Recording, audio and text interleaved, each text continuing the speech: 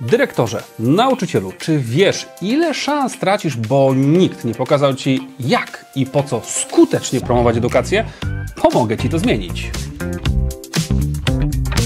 Nazywam się Maria Szostek, przyjechałam z Koziegłów ze szkoły podstawowej. Uważam, że trzeba promować edukację. Uważam, że trzeba promować szkołę. Tak naprawdę edukacja, szkoła to jest produkt, który trzeba dobrze sprzedać i rodzicom, i uczniom. Nazywam się Zbigniew Grabowski, jestem dyrektorem zespołu szkół samorządowych w Sułkowicach-Bolęcinie, gmina Andrychów. Przyjechałem tutaj e, po pierwsze, tak jak powiedziałeś, żeby się czegoś nauczyć. Czy zupełnie inaczej spojrzałem właśnie na ten marketing w edukacji. Zmieniłem jakby myślenie e, promocji szkoły e, pod kątem właśnie no, sprzedawania tego, czyli marketingu.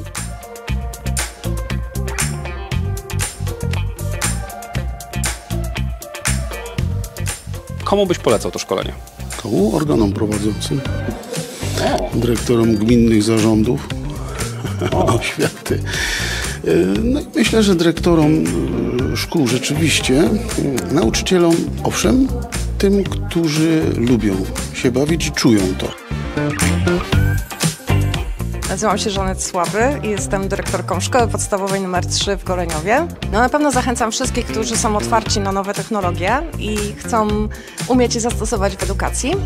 E, Dyrektorom, osobom odpowiedzialnym za szkolne Facebooki, Instagramy i tak ale w ogóle myślę każdemu, kto y, jest y, zaangażowany w edukację, kto, kto chciałby popracować nad tym, jak ją uczynić jeszcze no, atrakcyjniejszą, no bo co tu ukrywać, my musimy stać się atrakcyjni i musimy stać się konkurencyjni e, także dla innych e, elementów świata naszego.